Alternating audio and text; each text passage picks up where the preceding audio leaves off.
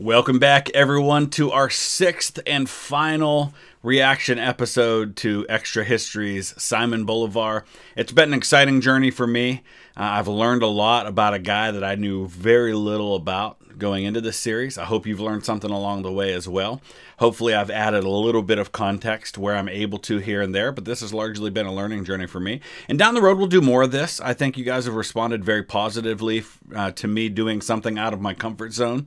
And uh, once again, I, I thank you all for the constant recommendations. I do read every single comment on every single video, even if I don't respond or react to it. I do read them all, so rest assured if you say something, I do see it.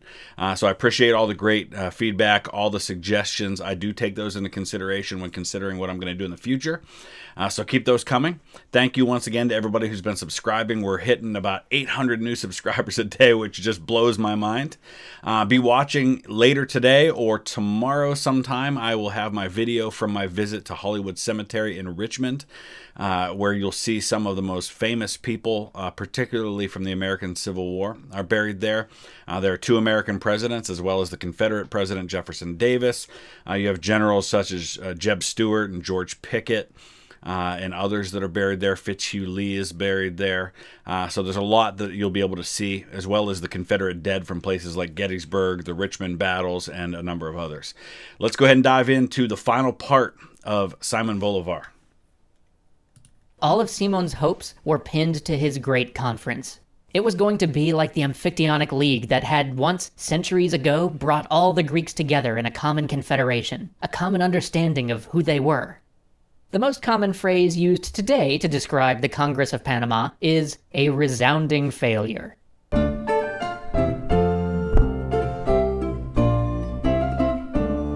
So, you know, I have to point out, uh, we did a recent series on uh, Otto von Bismarck, uh, who united uh, the German Empire uh, into a common empire. And uh, you can't help but see some parallels between Bismarck and Bolivar. of course, where it's going to diverge is obviously the uniting of uh, Bismarck uniting all the German peoples into a German, well, not all the German peoples, but a lot of the German people into the German Empire, at least the North German peoples. Uh, Bolivar wasn't able to do that, and I'll be curious to see what goes wrong.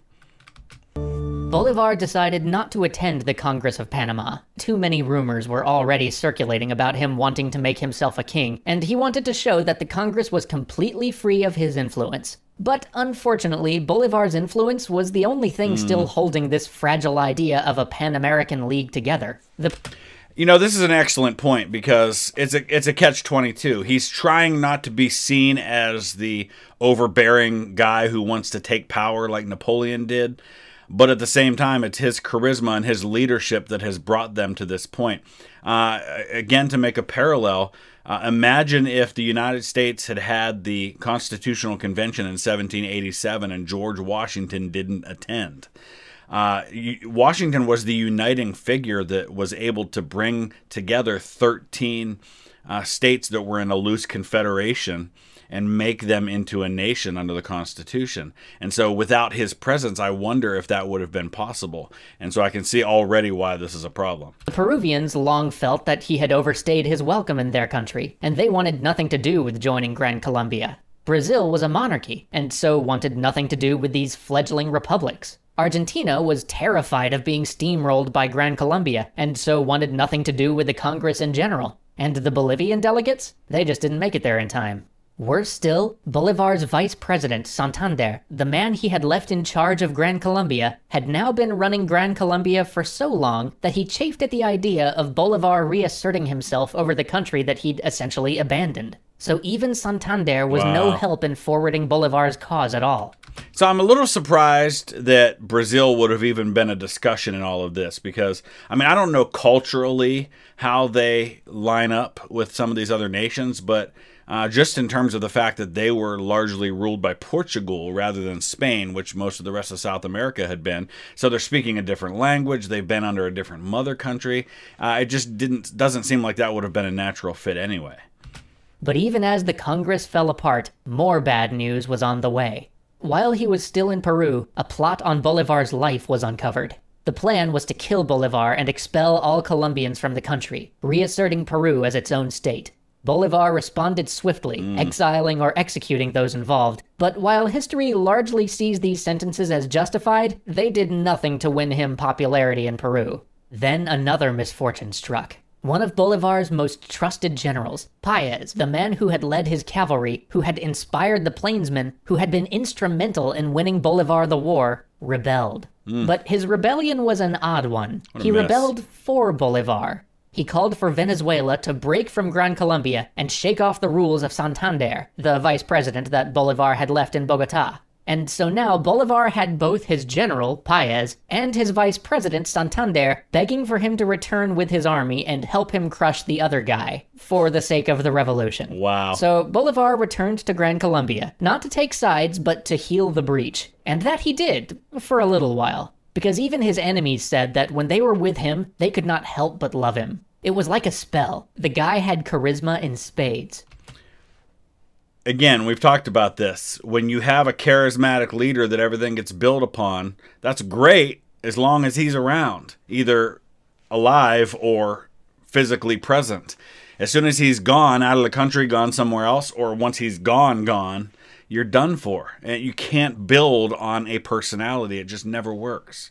All their grievances melted before his energy and open arms. But as soon as he was out of sight, all those enmities would spring up again. And his health was not what it once was. He was now gaunt, skeletal, eaten by consumption, the very disease that had taken his parents. But he was never one to quit, and so he took back up the mantle of power in Grand Colombia. But his dictatorial ways isolated him more and more. And as he traveled the countryside, he saw the true effects of his revolution, of his republic. He saw a wasteland with roads destroyed, crops untended. The populace that he had freed were worse off now than when he'd stood outside of Rome so many years ago. And when he tried to do anything about it, he was met time and again with one unassailable fact the country's treasury was empty. Santander had even negotiated a huge loan from the British to help keep the government afloat, but that loan was already gone. I wonder how the British must have viewed Simon Bolivar because we talked uh, before about how he had this British Legion, but it sounds like they were largely kind of mercenaries and not really official members of the British government. Um, you know, if you're the British government and you are an empire of your own with colonies all over the world, how much are you really going to help someone who has just broken away from Spain? Because if you show that they can be successful, isn't that going to inspire your own colonies to want to break away? And you just lost the United States in the last couple of decades. Um, don't you want to avoid that happening? under whispers of corruption and mismanagement. More even than corruption, though, there was one all consuming source that had swallowed up the money, and that was the army. For years now, Gran Colombia had essentially footed the bill for Bolivar to gallivant through Spanish America, liberating country after country. Revolutions aren't cheap, and Gran Colombia had just paid for at least six. Hmm. Now the people of Gran Colombia strained against that yoke. But Bolivar, beset on all sides by news of military setbacks, felt that he couldn't shrink the military right now. Peru had not only broken from the Federation, but invaded what was to become Ecuador. Bolivia was in turmoil and close to being lost. There were even insurrections in the heart of Gran Colombia. How could he risk reducing the army at this critical time? But it was the revolt of Peru that really tore a rift between Bolivar and his vice president, Santander. Santander practically cheered the loss of Peru. Not having to garrison such a large and querulous hmm. state would save the government a fortune. But Bolivar saw Santander's reaction as a shot in the back. He saw Santander celebrating something which would ruin his grand project of a universal Spanish American Federation. He even began to suspect that Santander might have Oh, aided the rebellion. Bolivar was in the field when he got the news about Peru. Tensions flared, and things escalated. Santander abrogated the dictatorial powers that Bolivar had been given, and in response, Bolivar, the champion of democracy, turned his army around and began to march on Bogota, the very first capital he had liberated. Hmm. Surprisingly, when he got there, no blood was shed. An uneasy peace was formed, with the vice president still serving his office. But one thing was clear to Bolivar. The Constitution of Gran Colombia, one so different than the one he had pinned for his beloved Bolivia, was the problem. It kept getting in the way. It kept preventing him from doing what needed to be done. The Constitution that we've put in place to curb power and to protect liberties and things like that is getting in the way of me doing what I want to do. So we're just going to kind of ignore it. Uh, let's be honest. I'll give you an example of somebody who kind of did the same thing, and that's Abraham Lincoln. Uh, Abraham Lincoln gets into the American Civil War. He has a third of the country rebelling against the other two thirds.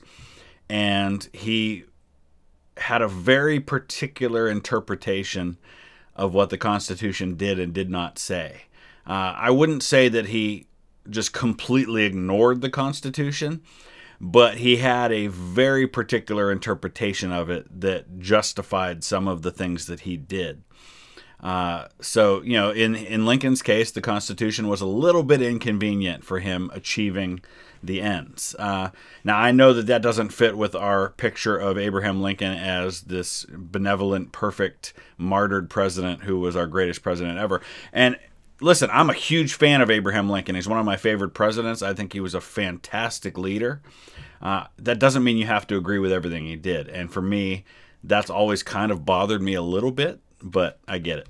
So he called for a great convention to rewrite the Constitution. Okay. But again, with his imperious march of the army against the capital of a country whose democracy he was supposed to defend, there were whispered charges of monarchism. Everyone said that Bolivar, like Napoleon, would try to give himself a crown. So Bolivar tried to remain hands off. He wouldn't attend the convention. He didn't even seem to lobby that hard for anything other than the convention simply taking place.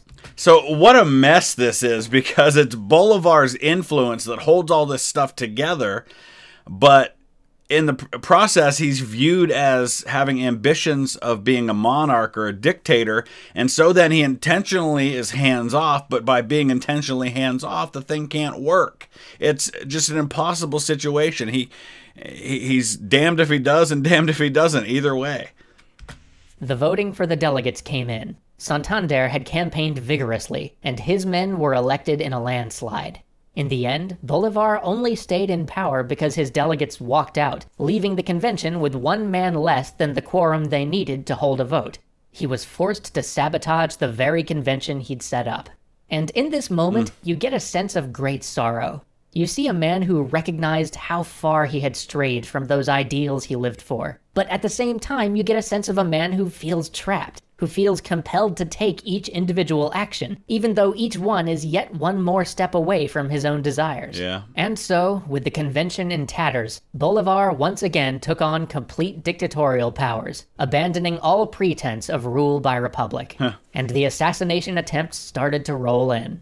More than once he was saved by his mistress, but his list of friends and comrades had dwindled to a paltry few. Some had died in his wars, some had retired, done with public life. Some he had alienated. So now I'm starting to understand a little more why there are people, including former Venezuelan President Hugo Chavez, who believed strongly that Bolivar was murdered and that's why he died as young as he did, even though he had consumption, which might have been tuberculosis. Uh, that's what they called a number of things back then was consumption. Um, but you can see why some people may think that it was a little more than that and some, in the end, he had to put to the firing squad. Now one more from that list rebelled. The idea of a Latin American monarchy was pitched, and again, though he had not been directly connected with it, Bolivar was accused of looking to make himself king. With a heavy heart, one of his loyalist generals decided that there would be no peace for the nation so long as there was Bolivar. And so, once again, Bolivar picked up the sword. Where once he had spent hours in the saddle, he could now only spend an hour or two at a time before he was racked with coughing. Mm. But though well past the vigor of his youth, eaten from the inside out by consumption, Bolivar still remained active, trying to manage the military and the affairs of states. But as another former friend met his death before his armies on the battlefield, Bolivar knew time was up. His health was failing. He would not live much longer. Of this he was acutely aware. He was reduced to ruin, declared an enemy in many of the states that he'd hmm. helped to free, and even banned from much of Venezuela, his homeland. His great dream was crumbling around him. One by one, all the states of Spanish America were abandoning his great project. Gran Colombia was disintegrating around him, and there was nothing he could do, frail skeleton of a man that he'd become. So, one last time, he tried to put affairs in order, to leave some part of the world that he tried to free ready for a world without him. He called together all the notable men of the revolution that were left and asked them to oversee the transition of power, to help keep the country together while he retired quietly back to Europe, which he had not seen since his youth. But even this was not to be. The go- government wouldn't let him go until new elections were held, and he was destitute. He sold his silverware in order to try to afford the trip. When the new elections were held, the man that he'd asked all those great nobles to let be his successor didn't win. And so Bolivar slunk out of Bogota to make the arduous trip to Cartagena. But even the very ship he was to leave on ran aground, Jeez. and so he sat, exiled in his own homeland, slowly wasting away like the nations he'd founded. Huh. After one last short trip, he died.